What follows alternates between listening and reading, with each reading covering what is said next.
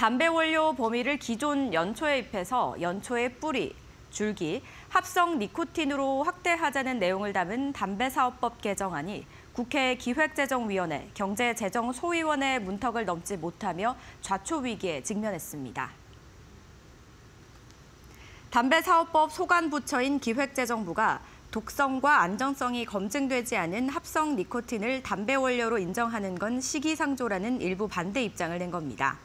이번 개정안의 온전한 처리를 적극 피력해온 담배업계와 금연학계는 물론 보건복지부까지 기재부 의견을 납득하기 어렵다고 반발했습니다. 기재위는 지난 21일과 23일 연달아 재정 소위를 개최했지만 담배사업법 개정안은 최종 합의를 도출하지 못하고 계류됐습니다. 현행법상 담배가 아닌 합성 니코틴 액상형 전자담배는 담배세를 부과하지 않을 뿐더러 온라인 판매와 직구 및 광고 판촉 금지 등 담배 규제도 적용받지 않습니다.